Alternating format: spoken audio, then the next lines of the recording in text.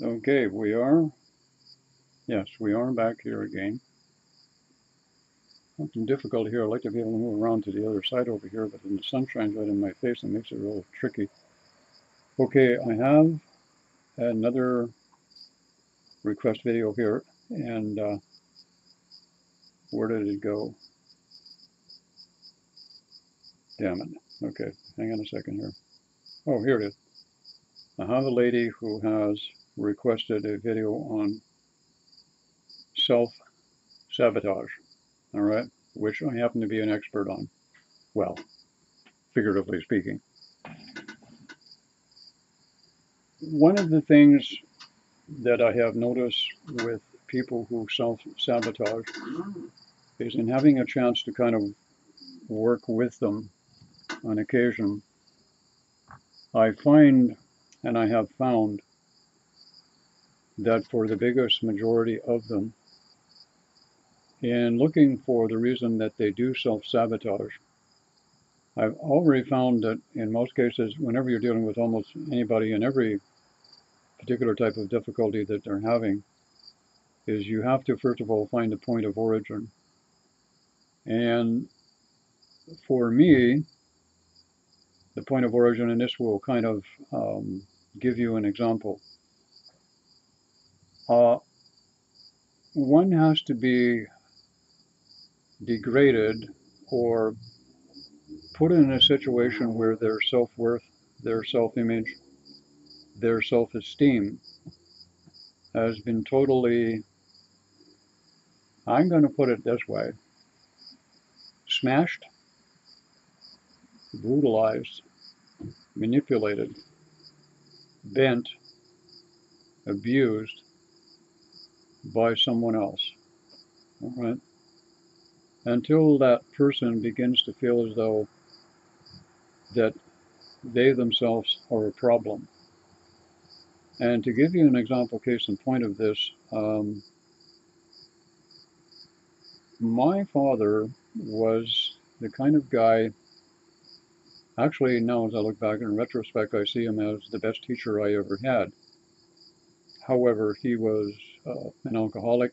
He was physically abusive, verbally abusive, and especially emotionally abusive.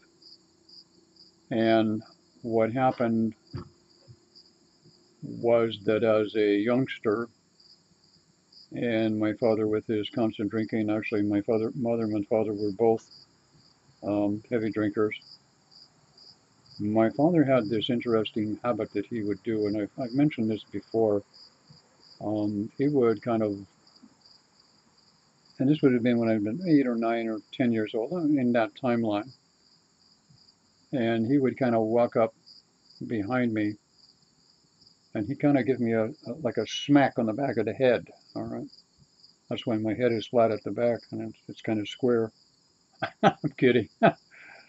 um, and when he hit me, and I would fall down, usually just about every time um, he would say, no, that's for nothing, stupid, now do something. Well, obviously, with that kind of wonderful programming, by the time I was 20, I actually thought I was stupid. And I never finished high school um, because I thought I was stupid. So obviously, uh, if you have that kind of mentality programmed into you, um, your whole life is going to be about self-sabotaging and that's exactly what I did. Um, every time that something would start to go well or good for me, um, and let, let me tell you, I've had a lot of really good opportunities in my life uh, that came to me, and it always seemed that as the opportunities came and things started going good, there was this part inside of me that would, you know, answer to the programming because things were going good, and because, because I didn't think as though that I deserved them, excuse me, what would happen was, is the programming would uh, indicate that I needed to do something to put myself back in my my appropriate my appropriate zone of mentality. And I would do something stupid to sabotage the situation and this became the pattern And what happened was is I also started to realize, and this especially became obvious when I began my spiritual awakening. As many of you know, is your spiritual awakening initially. Nowadays, what happens is Kundalini and Heart Center awakening begins at the same time.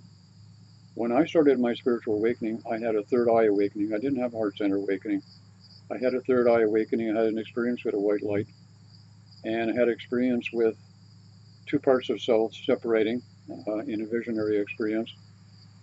And the idea of things going well became even more prominent. I started getting more, attracting different kind of people to me than what I had been accustomed to, and I would sabotage that by doing something stupid to break up a friendship, or I would have a relationship that would be pending, and I would do something stupid to break up that. Uh, and it just seemed as though that I had to have this comfort zone where life was relatively unhappy. Yeah, that would be the way I'd put it. Relatively unhappy, but not unhappy enough that I would be miserable. Let me put it that way. And I think a lot of people can relate to that. So the self sabotage thing became a real issue when the spiritual endeavors or the spiritual creativity or the potential started to really come out. And I started noticing that, and I noticed it when I started doing the channeled uh, aspect, doing channeled readings for people. I would be very successful for a period of time and actually started getting paid for them. And I was making money and I was doing quite well with it. And all of a sudden, I reached the the limit of where I could go without the self-sabotage kicking in again. So I did exactly that. And this became the pattern over the period of years, and I'm sure this happened to a lot of people. And what it boiled down to is I had to t- take time out and I had to go back and I had to take a look at it and say to myself, okay, first of all, I think the key for me was, and the key for everybody else is, is you have, you have to actually recognize that you're actually sabotaging yourself. All right? A lot of people can go through their whole life, they don't even aware that they're doing it. It's just a habit pattern to them, and they never become aware. But once you become aware, the first thing that you need to do is you need to find out where this came from, or the point of origin. And for me, the whole thing started, and I realized it with the, the programming that my father put into me, and I realized I had a self-image, a self-worth, and also a few other problems in regards to that because I actually thought I was stupid. So to be correcting the program, what I did was at the age of, uh, I think I was, I don't know, 38, 39, 40, somewhere in that, I can't remember the detail. But I was talking to a friend and I told her, I said, you know, I said, I've got this pattern that every time things start going good, uh, I, I, seem to sabotage and I do something to screw it up. And then I have to go back and, and apologize to people. And I hate apologizing. I don't mind apologizing if apologize, an apology is necessary.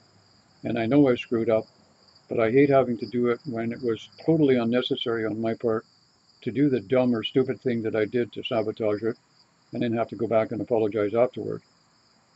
So she said to me, she said, well, you know, tell me a little bit what your childhood was like. So I gave it to her, and she said, well, obviously you don't think you're too bright. And I said, no, I don't. I said, I don't think I'm smart at all. I said, I didn't do very well in school uh, at all. I said, I didn't finish high school. And she said, look, look we're going to do something here. She said, what I'm going to ask you to do is, she said, go and get yourself tested. Go to one of the colleges or the university, whatever, get yourself tested, see where the hell you're at. So I did. To make a long story short, when I went to the college to get tested, the lady said to me, she said, well, with the exception of math, which you need to go into and, you know, upgrade a little bit, she said, we're going to recommend you go directly into university. I looked at her and said, are you kidding me? No, she was very serious. But at that moment, at that moment when the woman said that to me, I realized something and it, it hit home that I was not stupid and that I was actually very intelligent uh, and that I was also very creative, and I realized I had a problem. So I started spending time in my meditations and going back and looking at this is my method only for how I did it. Okay, and if other of you out there having self-sabotage problem, you might want to take a similar pathway. So what I did was this, all right? I went back and I played back through my mind and my memory as many times that I could think of when my father did the clip thing and knocked me on the floor and made the comment, no, that's for nothing stupid, now do something. Now I'm sure others of you will come up with stuff that's even worse than what that mine is. And I realized I had the self-image problem, the self-worth, and the self-confidence problem came out of that particular programming. So I said to myself, there's got to be a way to change this. There's got to be a way to work with this. And the first thing that I that I come up with was this.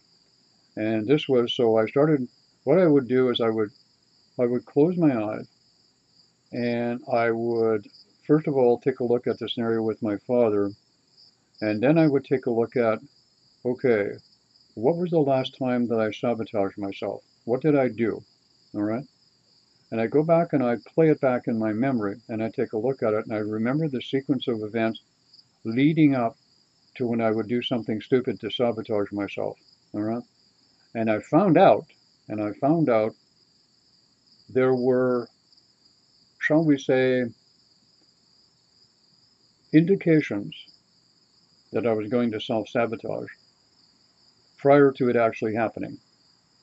And what I noticed was, is I would become uneasy, but I didn't know why. And I would feel very restless. And I would be unable to relax or sit still or be quiet. I would find I would get um, ticky or agitated. Uh, basic tasks would become, you know, a little frustrating, or, or they weren't going well. And these were all indications that I was about to do something stupid that was going to self-sabotage. So the idea here is that you have to go back and you have to identify your pattern. My pattern is not your pattern. I can only identify my pattern and you can use my pattern, which is recognizable, to recognize your own pattern when you do this. And I recognize that I did have these indications on a forthcoming self-sabotage. So what I said to myself, I said, okay, now I'm going to watch for this stuff. I'm going to pay attention. And it didn't happen overnight. It took a little time. It takes a little focus. It takes a little discipline. It takes some effort here. You know, don't put nothing into it. You're not going to gain anything. All right. So many people these days want to go on YouTube or the internet and they want to find a magic meditation or a magic formula or a magic book or somebody who's going to wave their magic energy hand all over them and everything's going to be wonderful and everything's going to be fixed. Unfortunately, you're living in the land of illusion if you feel that way. There's no magic pill or a magic bullet. It's all about you have to do it yourself. But there are people like me out there who will give you the tools and put them in as simplest form as possible. So the other thing that I did was this, having recognized the indication, I decided to do something which I thought at the time was very, very weird. That's the first word I'm going to use, weird. But then I thought about it being, hmm, this is pretty racy, all right? So I said to myself, okay, so if my father did this and he impressed me with the idea and the thought that I was stupid, therefore I created out of that context a self-image, a self-worth, and self-confidence that was limited, warped, or subdued, or sublimated, whatever term you want to use, within myself. So if that's the case, and my father programmed me, and then I programmed to add to it, then who's the hell to say I can't go back and reprogram it and change it around? Now keep in mind this was like 35 years ago I did this. Nowadays, this is quite common to do this, but in those days, I think that I was way ahead of a lot of people. So what I did was this. I went back, and in my meditations, this is what I would do. I would go to the heart center chakra, and I would focus on creating a visual pattern of seeing the situation as it appeared at the time with my father. And then I would go to each situation that I could remember and I would change it. I would visually see it going in a different way. I would see it going in a different way as if he changed his mind. For example, he decided not to smack my head, and I would get up and walk away with a smile on my face. All right? Or I would simply see it as instead of him hitting me on the back of the head, we went fishing instead. All right.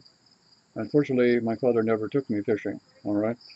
But I would see it that way. And people will say, well, that's fantasy, that's illusion. You're, you're creating something that didn't happen and didn't exist. But here's the thing that I've discovered, all right, about this, is that part of yourself that's inside, all right, I'm going to call it the inner child, and at that time it was the inner child, doesn't know the difference between what is real and manifested in 3D and what you think or create with. And the beauty of the system was when I started doing this, my heart center had already been active. And the one thing that we all know about the heart center chakra is that it is a creative source center. Many people on the planet are still thinking it as, as the source of unconditional love. If it is the source of unconditional love, all of our problems on this planet should have been gone a long time ago. So the spiritual community is living in an illusionary bubble, all right, of calling it unconditional love, and love is going to solve all of our problems. It's not. Source creative energy, which is not love, which is far beyond love, because love from a 3D perspective is limited, all right? When you say you love someone, you're saying that from a limited, limited perspective. When you say you love someone unconditionally, you have no idea what you're talking about because you don't know what unconditional love is. All right? You do know, and you can sense and feel source creative energy. It's neutral. All right? Source energy is neutral. You're the divine aspect. You're the creator. You create it. And we do this from the time we're born into the world. But the problem lies here is that everybody else gets to put in the input, and we don't. So now we're being asked as creator to do the input. So anything that's been done to us is fixable. We can go back and we can repair it in that particular way. So what I did was exactly that. I went back and I saw myself with my father every time that a situation would come up, I would go back and I'd play it back. So finally what happened is I really got I really got racy and I stopped eliminating the remember when he did this or remember when he did that and I went back and I reprogrammed my whole childhood in a different way and I changed everything around, all right? Like a big fantasy, like a big movie, uh, like a big fantasy illusion, as it were. I created a whole childhood that was actually fun and interesting. And the purpose behind it was to actually change my consciousness, which happened. And what happened was, is over an extended period of time, as I said, the inner child can't tell the difference between what is real and what is not. What you imagine is all the same to the inner child. So what I realized was that I could change, that I could be confident, that I could have a good self-image, that I could have self-confidence, all right? And this is exactly what happened over an extended period of time. I will tell you, and I'll tell you very honestly, everyone, there was a time in my life that doing something like this, sitting on a YouTube people, sitting on a YouTube and actually talking to people and knowing that they're going to listen to what I'm going to say and that they're going to possibly make positive or negative comments, all right, was something that would be beyond my comprehension. It would have been impossible, all right. What I've learned today is nothing is impossible unless I believe it to be so in that perspective. And the idea here of self-sabotage can also be corrected. It's the same thing with people who, you know, almost do, um, they wound themselves or they do something to them. Self-sabotage means that you can actually physically injure yourself, all right? Physically injuring yourself is another form of self-sabotage that comes from the idea of your self-worth, your self-esteem, and it's because of the environment or the situation that you were downloaded with. And this is exactly what happened to me. So the idea here now is if you can go back and you can see the whole of your childhood and see it now as you would like it to have gone, as opposed to the way that it did go. But here's the key, all right? And I keep mentioning this all the time. Everybody on this planet, it seems like, in the spiritual community, is talking about the event. The event is coming, or this event is important, or this event is coming. We have uh, astrology signs that a new energy is coming in and the event is going to take place and we got a special event coming up at the moon we got a special event coming up at, at that and this that and the other thing let me clarify again the event that everybody has been waiting for has happened over 20 years ago and that was the awakening of the heart center chakra it's now time for people to start using it because those of you who have gone through the changes, the personality changes, the environmental changes, and all of the caca poo poo that you had to go through are now in a situation where a lot of that shit has been filtered out of you. Now you can contribute and participate with your forward pathway, if I can put it that way, by entering into a liaison, if I can put it that way, with your heart center, which has been gifted to you which is the most important event that's happened in your life, and it's the most important event that's happened on this planet in 2,000 years. All right. So it's very important that you do this and get into it with the self-sabotage thing. You would be surprised how quickly you can change. But here's the key, all right, just to kind of refresh for a moment. You have to go back and you have to take a look at your self-sabotage pattern. You have to recognize the symptoms, right, or the indications of when you're going to self-sabotage. If you take a look, you'll see them. Once you see them, then you have to find the point of origin. You have to find out what it was in your life that created this condition, that created the, the lack of self-worth, self-esteem, self-confidence, that you feel you're not worthy, and you start to self-sabotage. And when you find the person or the situation, whatever, then you go back and you change that with the heart center chakra by combining the imaginative faculty, heart center together, and focusing in the heart center. And if you need additional information, I can teach you how to do that. All right. And I can also do something else.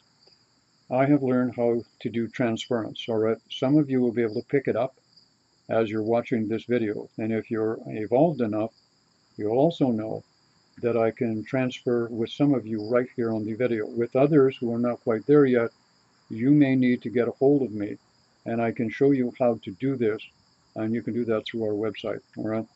So I'm going to stop the video here. I actually enjoyed doing this one and kind of putting it I always will um, do this when putting a video out.